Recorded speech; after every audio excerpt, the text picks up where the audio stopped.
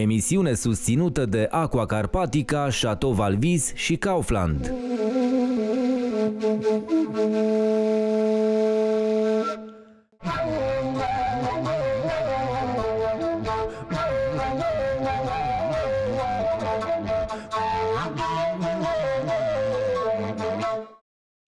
Seara, doamnelor și domnilor! Bine ați revenit la cină, emisiunea în care șefa Adică de gătește și eu, Ionela Năstase, mă gătesc pentru a-i primi ca la carte pe oaspeți la cină și pentru a le servi la masa de seară o porție dublă, o porție foarte mare, de întrebări cu mult bun gust. Invitata noastră din această seară este una dintre cele mai îndrăgite actrițe din România, angajată a Teatrului Național de peste 26 de ani. Ne este oaspete la cină Monica Davidescu. Bun găsit, Adi! Bună seara, Ionela! Îmi place că arată toamnă tot ce e aici pe masă. Păi da. Struguri, prune, vin. Acoperă minima cu ceva. cu ceva bun de mâncare, acoperă-ne tu stomacul în această seară. Niște frunze de, știi ce e asta, cum ar scrie în, în restaurant, în meniurile, în meniurile restaurantelor chinezești, dar posibil că și în meniurile restaurantelor românești din Miercurea Ciuc scrie la fel varză chinezesc. Chinezesc. Deci varză. Da, varză. Varză mâncăm în această am niște, seară? am niște tăiței din ăștia groși, așa ca odgoanele, îmi plac mie foarte mult. Uh, varza asta, mango, este ceva. Un Sauvignon Blanc din 2022, Chateau Valvis. Purtujur. La prietenii de la Sâmburești. Să meargă altfel mâncarea și discuția mai ales. Merge. Să auzim și o rețetă. Să auzim numai de bine. Rețeta. Doamnelor, domnilor, dragii mei, în seara asta o combinație simplă și vegetariană între dulce și sărat. O mâncare cu iz asiatic, fără a avea pretenția că este una asiatică autentică.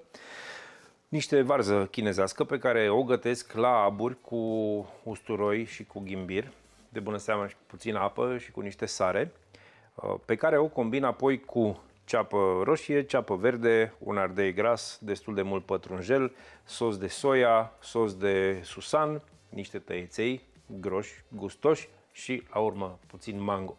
În principiu, cam asta e tot. Lucrurile sunt, uh, se petrec destul de repede în această situație. Adică e genul ăla de rețetă de care ai scăpat în 10 minute și încă în 10 minute ești și mâncat și ești afară la joacă în cazul în care vrei să faci asta. Hai să vedem!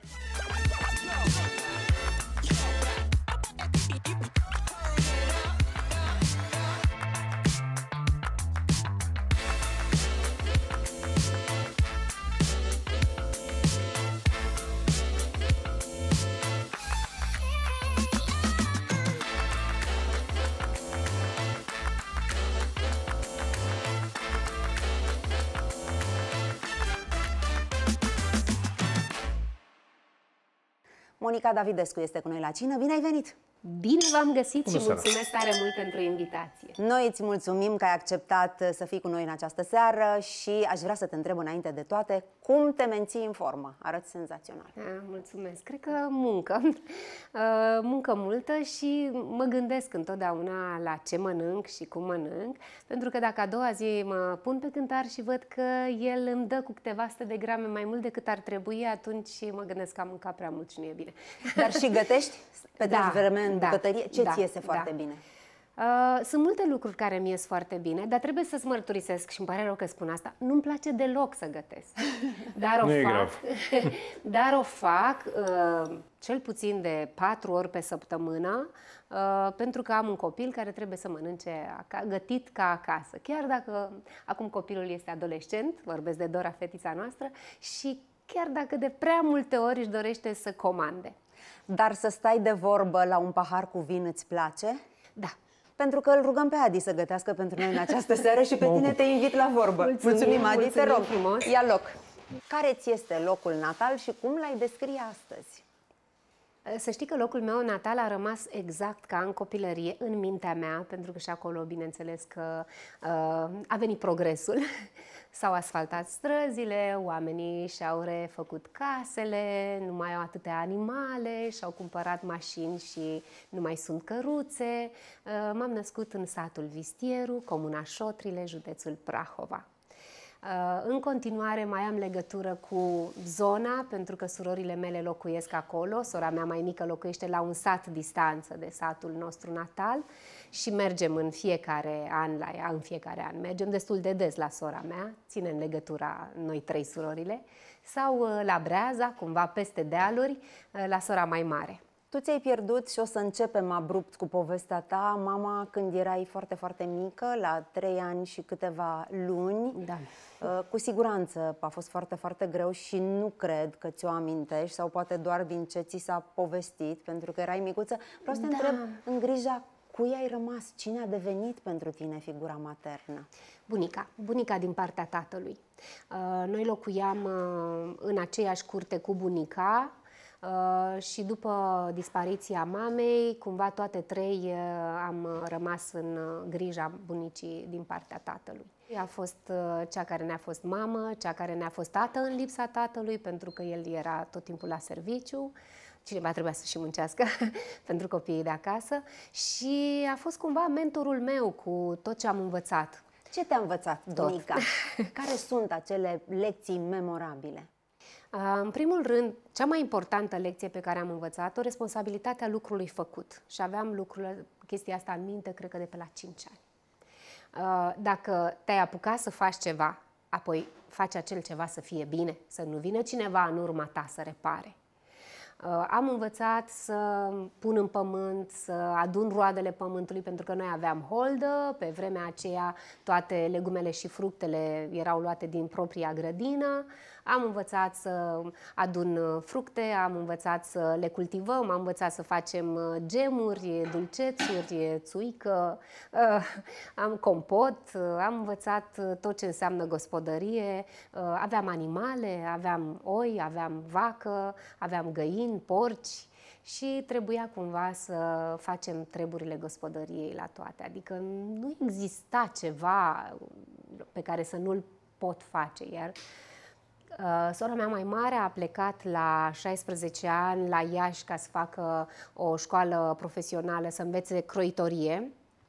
Și atunci am rămas cumva la 14 ani, am rămas uh, mâna dreaptă a bunicii și cumva cea care are în responsabilitate gospodăria, pentru că bunica ușor, ușor înaintând în vârstă nu mai putea să facă multe lucruri și cu bolile uh, aferente Vârstei. vârstei. vârstei. Când eram toate trei, ne împărțeam treburile, știi? Una aducea apă, apa era cărată de la fântână și pentru animale și pentru noi, alta bă, făcea curat în staulul vacii sau la oi sau la găini, alta aducea mâncare, adică era, aveam tot timpul câte ceva de făcut. Ce simți că ai pierdut în copilărie?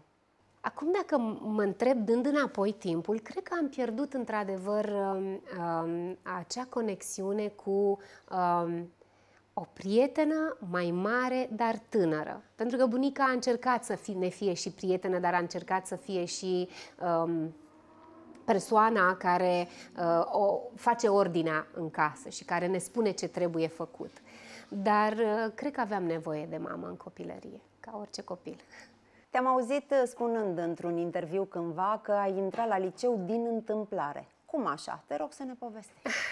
Da, um, eram pe vremea comunismului, repet, și tata s-a gândit că cel mai bine ar fi ca fiecare dintre noi, pentru că nu ne putea sprijini financiar. Ce cumva. lucra tata? Tata era muncitor, calificat, într-o fabrică. În orice caz, uh, el a zis că noi ar trebui, ca fete, să avem niște meserii din care să putem trăi toată viața, indiferent prin ce trece țara.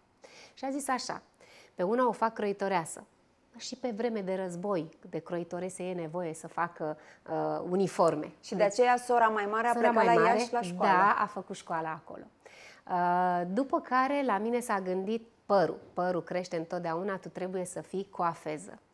Uh, și îmi plă- el, el tundea în sat, mă tundea pe mine, tundea copiii, tundea um, așa, ca pasiune. Tu trebuie să fii coafeză, să te faci frizeriță coafeză, pentru că indiferent de ce se întâmplă, părul crește și oamenii vin să se aranjeze la o cununie, deci ai, ai o meserie pe toată viața. Și am zis, uh, da, da, cum? Ideea era ca în treapta a doua, după ce terminam 10 clase, 10 Așa clase era erau atunci. obligatorii și în toate comunele existau uh, cele 10 clase. Am terminat 10 clase la mine în comună și mi-a zis, vei da treapta a doua cu condiția să iei 4,99. Nici mai mult, nici mai puțin. Cu 5 se intra la liceu. Am ajuns uh, la uh, examen, am scris pe ciornă tot, că pentru mine era ușor ce aveam de făcut. Am dat ciorna în spate, nu mai spuneți nimănui chestia asta. Au copiat mai mulți după ciorna mea și în, uh, pe lucrarea curată am scris doar jumătate din subiect. Pur și simplu jumătate. Și am intrat cu șapte și nu mai știu cât la liceu în treapta a doua. A fost o dramă, mi-a fost foarte teamă că tata o să se supere rău pe mine. S-a supărat, dar nu atât de rău. A intervenit bunica. Ea a spus, lasă că o să te ajut și eu, o să iau eu abonamentul de mașină. Trebuia să ne plătim abonamentul uh, la mașină până în oraș. Și nu era uh, ușor o să iau eu abonamentul. Abonament a haine, dar uh, pentru oraș, încălțăminte, cărți, nu, nu se poate, era destul de mult. Și atunci am zis, uh, bunica a zis, lasă că o să fie bine, o să vezi. Și am intrat la liceu, mi-am văzut de carte și la liceu mi-am descoperit pasiunea cumva pentru literatură, datorită profesorului Uh, din liceu, Gheorghe Luncă, pe care chiar l-am avut uh, la sfârșitul, la începutul lunii iunie, l-am avut în sală la spectacol. Am fost cu un spectacol la Câmpina și a venit în sală și m-am bucurat. La București când ai venit? După terminarea liceului, eu mi-am dorit să merg la teatru. Și uite, îți mai spun o întâmplare, bunica mă sprijinea în secret. Da, dacă tu vrei mama acolo, noi ascultam foarte mult radio uh, și acolo era cutia mea magică toată unda veselă, toate emisiunile de la radio, tot ce se cânta, totul O melodie era... pentru fiecare, o era dimineața da, la ora de la, 9. Da, da, da. și... Spuneai că bunica te-a încurajat da, să mergi către teatru. Da, și mi-a zis, mamă, hai că am adunat un sac de nuci, mergem la fata mea la Bușteni, la tantilența de la Bușteni, care ia un profesor acolo care o să te asculte și să spună.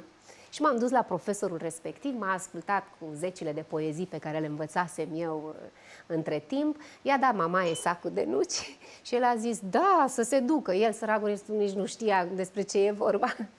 Și am plecat într-adevăr la București în uh, toamna, în vara aceea, ca să văd ce se dă. Deci cam asta era, să văd și eu ce se dă. Cred că era august, nu mai știu exact.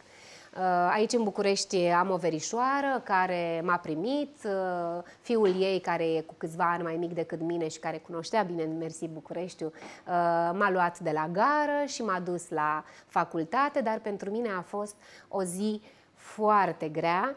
Era prima dată când veneam în București, cumva a coborât pe mine Bucureștiu, m-am văzut atât de mică și mă uitam la cât de înalte sunt blocurile, zic, frate, cum locuiesc oamenii ăștia acolo sus? Am locuit într-un sat până la vârsta aceea. Toate casele aveau un singur nivel. Și zic, Dumnezeule, metrou, nu, mer- nu mersesem niciodată cu metrou, troleibuz, tramvai. Zic, ci, prea mult, e prea mult. Zic, am intrat, am trem- tremuram ca o frunză așa când am intrat acolo, numai ca să văd, m-am dus la secretariat să întreb cinstit, cum întrebam eu la școală ce se dă la examen? Și doamna secretară care avea înscrieri de făcut, era disperată, avea o groază. Mă întreb pe mine, du-te la avizier. Și am zis, aoleu, secretara are ceva cu mine. Eu care n-aveam nimic cu secretara. M-am întors în sat, am făcut un an, am fost un an învățătoare și anul următor uh, la televiziune a fost un anunț că se caută figurație pentru Revelion și am spus uh, tatălui, uite acolo mă duc și o să vezi că o să câștig și bani în șase săptămâni, nu mai vreau să fiu învățătoare. Știi de ce mi-era teamă? M-a apropiat prea tare de copii. Și mi-era teamă că nu o să mai pot pleca și o să rămân în sat, doar învățătoare în sat. Simțeam că pot mai mult, că vreau mai mult. Ai intrat la TVR? Ai făcut figurație? Am intrat la TVR, am făcut figurație. Dar tu nu ai fost doar figurant într-o emisiune la televizor. Ai spus mai devreme, ai fost învățătoare, ai fost secretară. Mi-am notat eu aici, ai am lucrat fost și la magazioner la, și la teatru, freză. Da, am fost magazioner la teatru, auzi, la uh, televiziunea română, ajutor de magazioner trei luni de zile, ca să pot să mă întrețin. Am fost și secretară, am fost și dansatoare, și prezentatoare. Și manechin într-un și magazin de obiecte vestimentare, da. am notat eu aici. Manechin în vitrină. Uh, în uh, Când am fost la televiziune, Brândușa Novac uh, făcea niște coregrafii și la un moment dat îi se spune să ia oameni din public să-i pună să danseze pe o piesă a lui Mihai Constantinescu. Am fost remarcată și hai să vedem dacă pot dansa ăștia, că nu știm dacă pot dansa oamenii ăștia care au venit doar să aplaude la masă. Și ne eu ieșisem la horănsat, cum să nu știu să aveam ritm, aveam de toate. Ne arată două figuri, a, imediat, gata. După această zi în care am dansat pe ușor în spate la Mihai Constantinescu, Brândușa Novac vine și îmi zice, tu nu vrei să intri într-o trupă de dans? Bineînțeles că vreau. Nu știam nimic despre dans. Aveam 19 ani, nu făcusem uh, uh, nimic special, ci doar îmi plăcea. Am intrat la ea în trupă, tu unde ai mai dansat? Zic, nicăieri. Bine, la o luăm de la zero. Da. Uh, bine, hai să începem. Și am făcut pregătirea, ea, uh, toți oamenii ei din trupă erau, uh, gimna, erau foste gimnaste pe artistic sau um, pe ritmic. Deci oameni deci, care avuseseră legătură cu dansul când ridicau piciorul, se scărpinau la urechea cealaltă, știi? Adică era altceva. Mai și șase luni am intrat în pregătire pregătire fizică intensă, bară, balet, uh, uh, orice, aveam 6-7 ore pe zi pregătire fizică, plus că acasă voiam să, să fac mai mult și în, în continuare îmi lucram musculatura, uh, lucram la deschidere. Și uite așa am intrat Ce a zis în tata? A, tata n-a fost de acord să rămân. N-a fost de acord, s-a supărat, tot bunica m-a susținut. Uh, faptul că nu i-am cerut bani de întreținere a fost un element esențial. De aceea eu am tot avut slujbe. Ziua aveam slujbă 7-8 ore uh, și seara mergeam uh, la repetițiile de dans. Am găsit ușor, să zic, prin, tot prin verișoara, o slujbă de secretară, unde iarăși nu știam nimic. Eu aveam chestia asta, cum să nu știu tot? Pentru că învăț repede. Dar învăț, da. Învăț repede. Iar ca secretară nu aveam mare lucru de făcut, că nu erau calculatoare pe vremea aceea, uh, era uh, o firmă de consultanță economică, nu trebuia să știu eu nimic din partea asta de consultanță economică, trebuia doar să îi invit pe oameni, să le fac o cafea, o cafea răspunde la un să telefon, țin, să răspund la telefon, agenda. să țin agenda, să merg unde mă trimitea șeful cu diverse documente, mă duceam, nu aveam niciun fel de problemă, metroul era uh, la dispoziție și îmi făceam treaba foarte bine. Acolo am învățat să lucrez pe calculator uh, și, am, uh, și acolo, în acel apartament, am și locuit fără să știe nimeni, că nu mai aveam unde să locuiesc. I-am promis verișoarei că nu stau decât șase săptămâni la ea și am locuit câteva luni în acel apartament, dar nimeni nu știa că eu locuiesc acolo. Eram cea mai bună secretară, veneam prima. Totul era curat, mirosea cafea când veneau uh, șeful, cafeaua pe masă, totul bine. Cred că am stat cam vreun an acolo până când am început să câștig din uh, spectacolele de dans. Și atunci uh, am făcut spectacole de dans, concomitent cu spectacole de prezentare și după aceea am dat la teatru și mi-am păstrat doar spectacolele de prezentare. Mulțumesc! Trecem la un alt moment. Mulțumim, Vai, ce bine arată! Suntem uh, într-o manieră vegetariană în seara asta la cină. Da. Uh, da, niște tăieței cu varză chinezească, cu niște lăstari de brocoli, uh, mango și o să fie bine. Da, arată foarte Mulțumim. bine, să știi. Mulțumesc frumos. Te rog, poftă bună. Mulțumesc.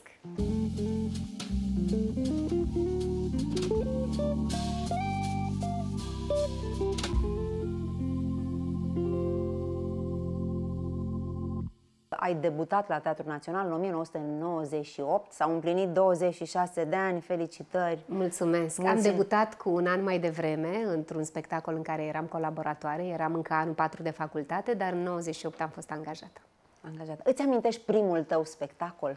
Primul, primul. Boabe de rouă pe frunze de lotus în bătaia lunii. Primul spectacol în care împreună cu alți colegi angajați în anul acela am făcut uh, un grup de mascați, tot o figurație specială, nu aveam un rol. După care a venit uh, rolul principal din, în 2000, uh, din uh, Mașinal al lui Alexander Hauswater, ceea ce a atras după sine acel Tache Ianche și Cadâr, pentru că aici trebuie să-ți povestesc ceva. Te rog. Uh, avusesem acest spectacol. Știam că în sală a venit domnul Beligan, pentru că îl văzuse mai, a venit domnul Beligan în sală, ne-a văzut la spectacol, vai ce minunat, să vedem ce o zice.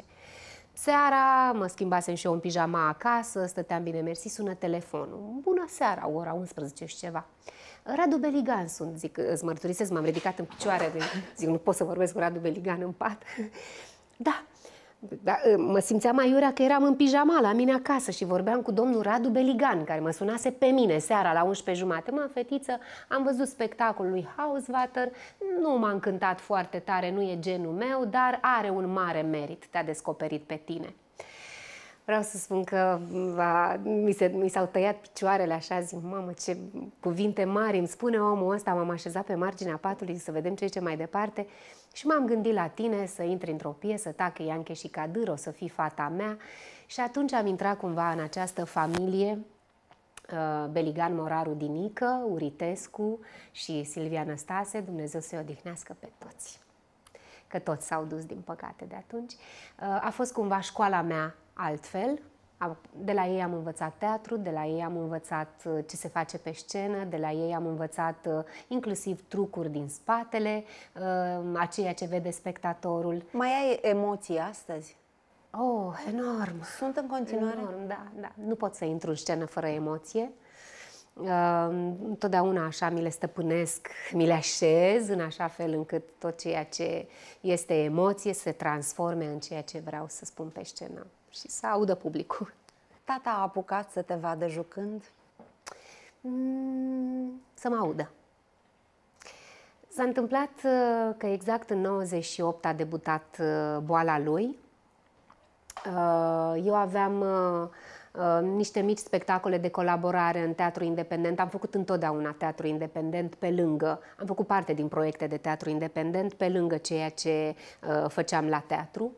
Uh, și am reușit să îmi gestionez bine timpul în așa fel încât să fiu prezentă la repetițiile de la teatru și la spectacol, iar în timpul liber aveam repetiții și spectacol în altă parte. Uh, odată s-a întâmplat să îl iau de la spital și urma să mergem acasă la, la țară, uh, dar eu aveam spectacol și eram și cu Aurelian în spectacol, l-am luat de la spital, l-am adus în cabină, a stat întins în cabină și la radio, la difuzorul din cabină a ascultat spectacolul nostru. Da. De altfel, a murit când tu erai în turneu și cu toate astea da. știu că ai reușit să te aduni și să joci și să faci performanță pe scenă cu un așa necaz. Cum reușește da, un asta om? e una din cele mai grele zile. Uh, veneam în 8 martie, pe 7 martie avusese în spectacol undeva mai departe, nu știu, Sibiu, Cluj, undeva în zona aceea. Eram în autocar și ne întorceam în uh, ziua respectivă și mă sună sora mea și îmi spune că în dimineața respectivă tata s-a prăpădit la spital. Evident că am ajuns în București pe la prânz, ora, în jurul orei prânzului, m-am urcat repede într-un tren sau autocar de Ploiești.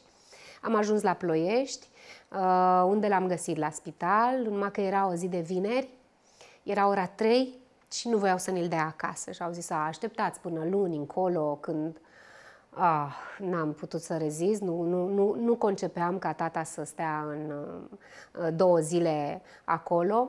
Uh, zic, dar totuși s-a prăpădit de dimineață, de dimineață au fost surorile mele aici, se puteau face documentele, nu mi se pare uh, ok. Haideți! Și au făcut documentele până la ora 5, Uh, a, s-a făcut și îmbălsămarea, că știi că din spital, uh, sau mă rog, așa sunt formalitățile.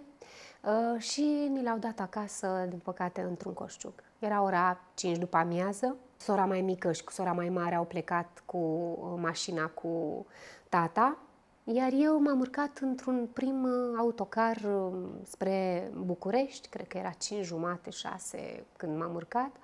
La șapte fără un sfert, la șapte începea spectacolul, la șapte fără un sfert eram pe la Arcul de Triunf. Am, am imaginile foarte bine în minte pentru că între timp mă tot sunase și uh, uh, regizorul piesei, Grigore Gonța, care mi-a zis cum ești, poți, aflase că spusesem la ora uh, când am aflat, am spus uh, colegilor, cum ești, uh, te rog uh, să joci, e sală uh, plină, era vândut la Teatrul Național, o mie și ceva de locuri. Zic, da, da, da, o să vin, o să joc. m-a sunat și directorul teatrului, Dinu Săraru, Uh, cum ești, uh, vin și era șapte fără un sfert și am sunat uh, pe colegul Mișu Călin să-i spun am intrat în București, spune tu că ajung. Eu intram în scenă la pagina 11, deci cumva cam la 20 de minute după ce începea spectacolul. Și zice, te așteptăm să ajungi oricum. Am intrat în teatru, cred că pe la 7 și 5, 7 și 10, atunci a început spectacolul cu foarte puțină întârziere, deci spectatorii n-au simțit, n-au știut nimic timp în care mă machiam cât de cât acolo, mi-am prins părul și atunci în spatele meu au fost mai mulți stați. Pentru că a fost și regizorul Grigore Gonța și Dinu Săraru era în cabină și au venit înainte de a intra în scenă și Beligan și Moraru și Dinic. M-au îmbrățișat și după aceea am intrat în scenă. Mi-a fost foarte greu să spun acea replică. Papa, sunt fericită să te văd, dar a fost. Actoria te învață cumva să-ți calci pe suflet? Da. E așa? Da. Din păcate, da. De multe ori. Și sunt foarte multe dăți în care pur și simplu îmi înghit emoția. Că n-am încotro. Sunt foarte multe dăți ale stări ale actorului când uh, el trebuie să fie într-un fel în scenă. Și e într-un fel în scenă. Dar uh, dacă îl întreb ce îl doare, care e problema lui și dacă ți-o spune, ai zice cum a jucat. Nu sunt singura care a trecut prin aceste sunt întâmplări. Convinsă, da. Sunt multe da. și sunt convinsă că ai mai avut actori invitați care ți-au povestit despre acea zi care pentru ei a avut o intensitate. Pentru mine ziua aceea a rămas de o intensitate fantastică și uite că nu pot să o, să o povestesc fără să dau drumul emoțiilor. Sunt mulți care trec prin asta și cei mai mulți aleg să le ascundă.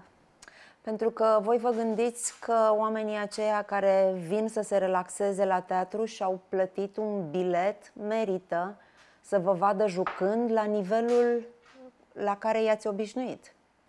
Nu, eu nu mă gândesc așa. Eu mă gândesc că omul care a venit la teatru are grijile lui și problemele lui. Nu contează banii pe bilet, unii își permit, alții nu își permit, dar are grijile lui. Și unul care are foarte mulți bani și și-ar permite o mie de bilete la teatru, când ajunge, ajunge că abia a avut timp și are grijile lui. Și m-am gândit, zic, sunt o mie de oameni cu o mie de povești, poate unele mai interesante ca ale mele, poate altele mai puțin interesante, dar pe acești o mie de oameni îi ajută aceste două ore să se relaxeze. Atunci, asta e meseria mea, eu sunt aici pentru ei, pentru că atunci când mă duc la doctor, și eu sunt importantă. Eu, eu vreau ca medicul să-și facă datoria lui pentru care el e la serviciu și el nu-mi spune că îl doare ceva, nu-mi spune că are o problemă acasă, nu, nu-mi spune lucrurile astea mie. Mă face bine, mă consultă. Apropo de bani, că vorbeam un pic mai devreme, teatrul te ajută să ai un trai decent? Leafa este rezonabilă? Sau e nevoie să mai faci multe lucruri pe lângă ca să poți să-ți asiguri un trai bun? Eu am fost obișnuită să fac întotdeauna mai multe lucruri pe lângă. Asta pentru că nu știam cât timp voi fi angajată. Am fost angajată pe perioadă determinată, întotdeauna mi-am dorit să fiu cea mai bună în locul pe care, în care sunt, în rolul pe care îl am, în așa fel încât să nu mi se spună nu mai avem nevoie de tine. Dar între timp, întotdeauna, așa cum ți-am spus, dintotdeauna am avut un spectacol în teatru independent. Iar asta m-a făcut să mă mențin, să câștig și un ban, într-adevăr, dar de unde câștigam, băgam în altă parte. Uite, acum că am ajuns, de șase ani avem compania noastră de teatru, compania uh, de teatru Concordia și bineînțeles că facem cu mult mai mult pe lângă faptul că intrăm în scenă de 4-5 ori pe lună, că avem 4-5 spectacole pe lună cu cele patru producții ale noastre. Uh, dar uh, e toată logistica, tot ce înseamnă organizare, tot ce înseamnă decoruri, costume și așa mai departe, plus contabilități și alte cele. Adică sunt foarte multe lucruri de făcut. Dar asta mi-aduce mare satisfacție, pentru că fac ceea ce am învățat să fac. Fac lucrurile pe care mi le-am dorit mi-am dorit să fiu pe scenă, mi-am dorit să pot să-mi creez eu scena și asta fac. La lucru ți-ai întâlnit și dragostea vieții, nu-i așa? Da. Ne povestește, rog. În, în scenă. Uh, eu prezentam un spectacol, asta să spun spectatorilor care, telespectatorilor care ne urmăresc în perioada 1990 și chiar înainte de 1920, dar folosesc această perioadă pentru că e cea de după Revoluție și până prin 2000, 2000 și ceva uh, s-a păstrat uh, acel obicei de a merge la un restaurant unde ai și spectacol. Și erau foarte multe restaurante și baruri din București care aveau spectacol. Spectacol de muzică, dansuri și eventual scenete uh, umoristice. Cam ceea ce vedeai la televizor la varietăți. Uh-huh. Din 2000, marea majoritate a colegilor pe care, cu care am dansat sau pe care i-am prezentat din 94 până în 2000, am prezentat aproape în fiecare seară în bar de noapte sau în restaurant câte un astfel de spectacol. Uh, Uh, toți colegii din aceste spectacole au migrat la televiziuni, pentru că au început de prin 2000 uh, uh, marile albume duminicale, să le spun așa, cu de câte 3, 4, 5 ore, cu foarte mulți artiști, cu dansuri, cu scenete, cu discuții. așa a fost atunci modelul. Uh, și pe toți i-am reîntâlnit apoi în televiziune, că am făcut și puțină televiziune, am prezentat și niște emisiuni, am făcut și niște filme, adică de asta zic, îmi place să fac lucruri, sunt uh, neobosită. Doar o paranteză, uh, muzică, teatru, prezentare sau film? Ce-ți place cel mai mult? Ah, cea mai grea întrebare mea a, nu pot să cred că mi-ai adresat, întrebă să mă supăr. Pe primul loc teatru, pe locul 2 filmul, pe locul 3 televiziunea, pe locul 4 dansul. dansul. Ne întoarcem la Aurelian. Așa, și era unul dintre aceste spectacole, 13 ianuarie 1995. Uh, era primul din acel an la acest restaurant. 13 cu noroc. 13 cu noroc, e cifra lui norocoasă. Am și locuit pe, da, pe strada 13 septembrie foarte multă vreme. Și uh, ne-am întâlnit, eu prezentatoare, bună-bună, a venit spre sfârșitul programului unde era el pus în, în programul respectiv. Eu sunt Monica Davidescu, aș vrea să știu dacă ai vreo pretenție la prezentare, să spun ceva despre tine. Eu știam câteva lucruri. Și ce nu, nu, cam ce știi tu, nu mai contează. Bine, L-am prezentat frumos, cum știam eu, prezentam în italiană. Era un uh, restaurant cu specific italienesc. L-am prezentat frumos, uh, grande cantante și bun, aplauze, a cântat. El cânta o piesă, o, era obligatorie o piesă în italiană, pentru că erau foarte mulți italieni. El a cântat o piesă în italiană, aceeași strofă și același refren, de două. A zis, nu vă două, era pe repede înainte și el știa doar prima strofă, la temi cantare. Uh, mai târziu era, el are gluma asta, păi eu am cântat asta pentru că era Lașa, Temi, cantare, adică lasă-l pe Temi să cânte. da, împărțea altfel cuvintele în italiană. Și uh, ne-am cunoscut, ne-am plăcut, am început să vorbim 10 zile mai târziu, m-a invitat la concertul lui, speram că mă invita sau credeam că mă invita, așa cum i-am invitat și pe ceilalți colegi, adică a făcut invitația pentru toată lumea, dar am fost uh, uimită că îmi zice că vine să mă ia de acasă. Păi tu n-ai concert, mă iei pe mine de acasă? Ok. M-a luat de acasă puțin mai devreme. Uh, mergem să-i luăm pe ai mei. Aoleu, îi cunosc și pe ai lui. 10 zile mai târziu, zic. adică nici um, nu ne începusem relația. Eram așa la stadiu de tatonare, să zic. Ne priveam ușor în ochi. Și după aceea am început uh, relația noastră. Trei Care... mai târziu ne-am mutat împreună. Și iată-vă și astăzi, după aproape 30 de ani, nu? Nu greșesc? Da. Da. Și te-aș întreba, pentru că toți suntem la o emisiune culinară, care e rețeta unei căsnicii de durată? Sunteți unul dintre cele mai longevive cupluri din showbizul românesc. Cum să rămâi împreună pe viață? Păi nu știu acum pe viață mea. Noi, cre... apropo de rețetă, îți trebuie un ingredient tare și unul, uh, că întrebam mai devreme care sunt ingredientele din ce am mâncat. Eu am aflat rețeta, nu știu dacă pot să o fac, dar o să o încerc, promit. Eu am responsabilitatea lucrului bine făcut, la timp, organizat. Cum te-a învățat bunica? Tara copilăriei, n-am ce să fac, așa merge mai departe, bine că e un lucru bun. Uh, el tace, e calm, dacă vrea să se odihnească, se odihnește. Eu cum să mă odihnesc dacă nu sunt vasele spălate? Doamne, ferește, nici vorbă. Cum am mâncat? Cine a spălat vasele? E o, e o obsesie de-a mea să fie totul curat.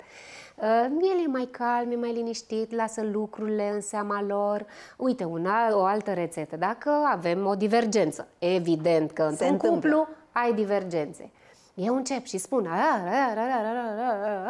are și el un argument mic? Zic, da, ai dreptate. Bine, ok, și dacă facem ca tine, dar după ce am vorbit eu enorm, sau dacă eu chiar sunt supărată și tot o țin, se duce și se culcă, liniștit, n-are nicio treabă. Deci cumva suntem doi oameni care se completează. El mă învață să fiu mai uh, temperată, eu sunt cu Doamne ajută înainte. În relația cu fica voastră, uh, fica voastră împlinește, Dora, Dora împlinește curând 14, 14 ani, mulți înainte, Mulțumesc. își face buletin așadar. Da. Cine e polițistul bun, cine e polițistul rău? Eu cel rău, el cel bun. Îmi pare rău, da, știu, am acest, uh, această sarcină și nu-mi place. Care e partea cea mai grea pentru un părinte? E foarte diferit. Dora nu poate fi crescută cum am crescut eu. Este în altă societate, are alte deschideri și atunci partea cea mai grea pentru mine este să învăț să fiu ca ea. Să învăț odată cu ea cerințele societății ei. Pentru că ea crește cu o generație care are ideea că așa trebuie să fie societatea și noi cred că am crescut la fel. Dar ea nu poate să facă ceea ce fac eu și nu poate să înțeleagă cum am trăit eu așa și de ce fac eu așa. A zis, da, mama așa e. Dar crezi că are greutatea numelui, numelor părinților? A, e o discuție pe care o tot amân. La un moment dat, uh, Dora a zis, uh, a zis ceva de genul că poate că eu nu vreau să fiu uh, fata unor oameni celebri dar uh, nu că n-ar vrea să fie fata noastră, dar ca idee, că de multe ori ea nu voia să-i se spună, e mai timidă, uh, are, le are pe ale ei, nu vrea să-i se spună, o, Miste Mișan, și mai sunt copii care îi spun, o, Miste Mișan, fiind uh, numele tatălui. Ba mai mult, am un coleg în clasă care e fan tata. Cum să fii fan tata când ai doar 14 ani? Ai alți fan, nu ești fan tata. și mai uh, glumim cu lucrurile astea, dar cred că e greu. Cred că este greu, iar um, eu nu pot decât să o sprijin în ceea ce face. Eu îmi doresc să aleagă o meserie care să fie a ei. Nu cântăreață, nu actriță? Nu cântăreață, nu actriță. Dar îi place teribil să meargă la cursurile de teatru. Este extrem de încântată și merge la cursuri de teatru. Vrei, nu vrei, ea a venit cu mine de când avea patru ani, pentru că nu aveam cum să o las acasă când eu aveam cursuri de teatru. Eu nu mai fac cursuri de teatru, în schimb ea merge în continuare la colegul meu și e foarte încântată când are la sfârșitul anului o reprezentație cu ceea ce au învățat pe parcursul anului. A și cântat cu Aurelian pe și, scenă, nu? Da, a și cântat. Ei place să facă cursuri de teatru și îi place să învețe și îi place să se descopere cu colegii, să, să taie firul în patru. Ce ar fi dacă ar fi? Cum ai face dacă ai fi așa aici? Și bineînțeles că atunci ei își pun mintea la contribuție și sunt pe rând și uh, mame și tați și medici și ce sunt ei acolo. Dar uh, la cântat eu am avut o surpriză. Tai că zicea, când cu fata la, palatul, la sala palatului. Zic, ai nebunit cum când cu fata sâmbătă sau când era. Zic, pe păi da, noi avem spectacol și nu, că mergem după spectacol. Zic, și când ai repetat cu ea? Are 8 ani. Deci eu am fost atunci terminată. Ei au repetat în joacă și ea a cântat perfect moștenește de la tatăl său vocea.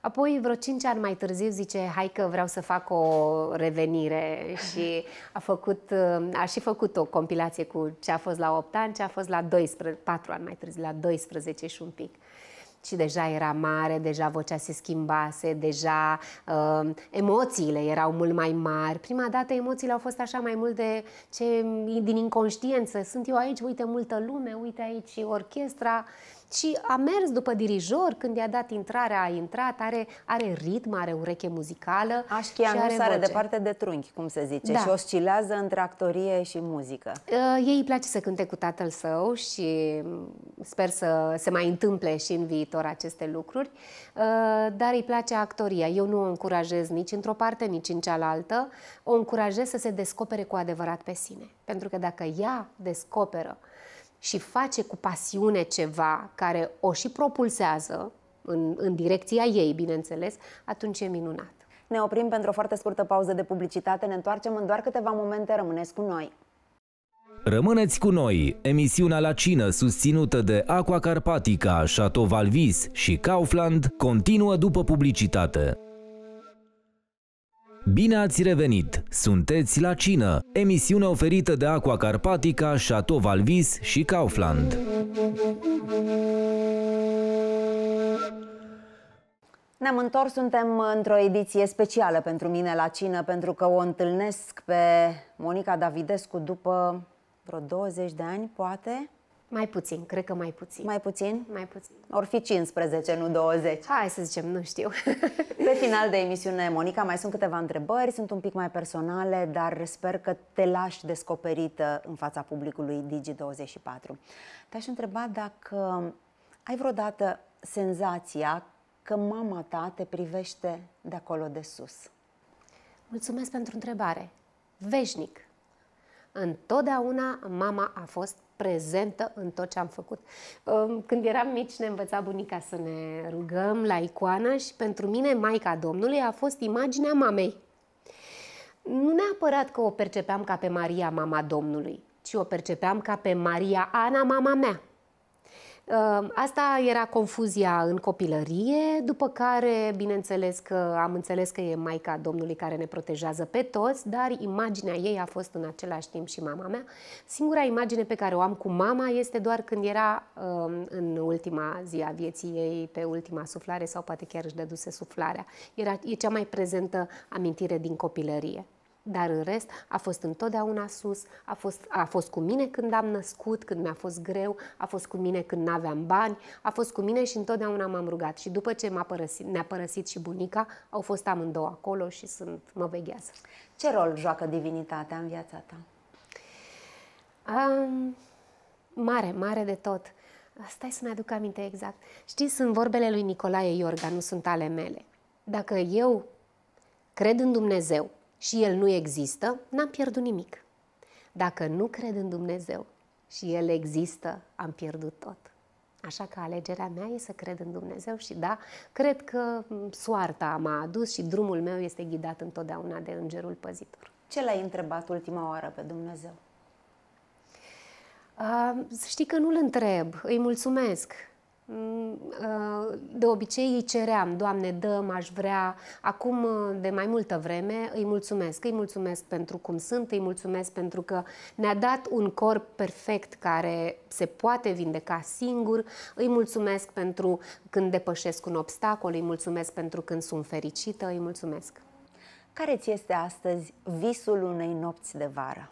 Visul meu este să fiu sănătoasă, alături de familie, alături de prieteni și să cresc cât mai mult acest, uh, această companie de care îți spuneam, compania de teatru Concordia. Ți-am adus un cadou, apropo. Uh, este unul din uh, caietele program de la O noapte furtunoasă. Ai acolo, poți să pui pe fotografie, dacă pui telefonul, o să începem să-ți dansăm și, să, și ne ai A, acasă. Mulțumesc. Da, da, da. Pe prima Mulțumesc. fotografie o să pui telefonul și o să vezi acolo și codul QR și o să-ți dansăm acasă și o să ai acolo filmulețul de prezentare.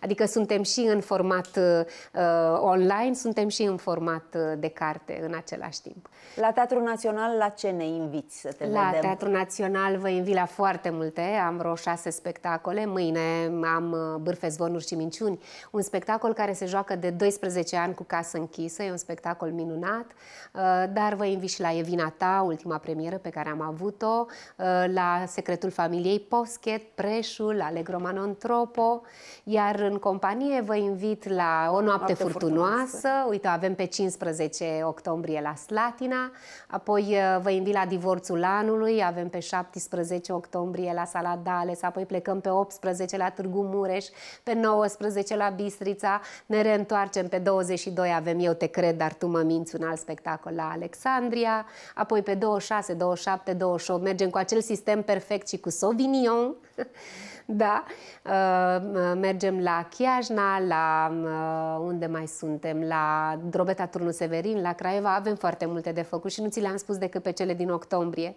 Iar în noiembrie pregătim concertul lui Aurelian, un concert tribut, dedicație, cu și despre Marius Țeicu. Frumos. Pentru că, de obicei, a făcut un prim tribut numit Oameni cu câțiva ani în urmă pentru Aurelian Andreescu, cel care a cântat prima dată piesa Oameni, uh, după care a hotărât, a mai făcut, am făcut mai multe concerte în companie cu diverse teme, iar acum am hotărât să începem uh, concertele cu dedicație pentru oamenii care au însemnat mult pentru muzica ușoară românească. Dedicație de la ora 9, ce ascultam noi la radio. Pe vremuri, da. Pe vremuri. Uh, am scăpat un pic discuția și ne-am dus tot către zona profesională. Te ah, rog da. să-mi spui care sunt micile bucurii din viață. Căței sunt marile mele bucurii din viață, pentru că de oriunde vin, când mă așteaptă cu atât atâta iubire și cu atâta dor, plec jumătate de oră la cumpărături și când mă întorc, sar pe mine de, parcă, de parcă am lipsit o săptămână.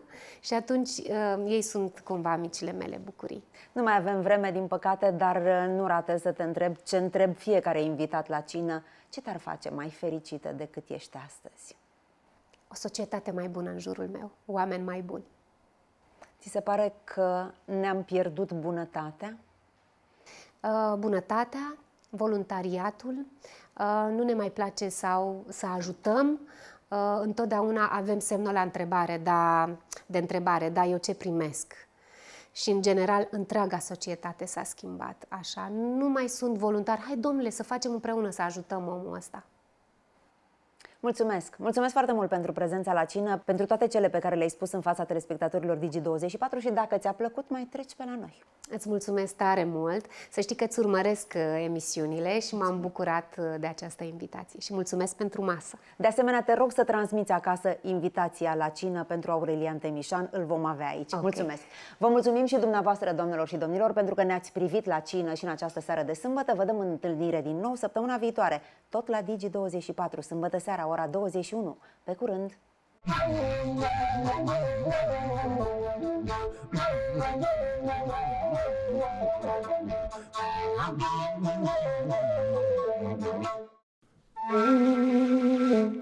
Emisiunea va fost oferită de Aqua Carpatica, Chateau Valvis și Kaufland. Ne revedem săptămâna viitoare!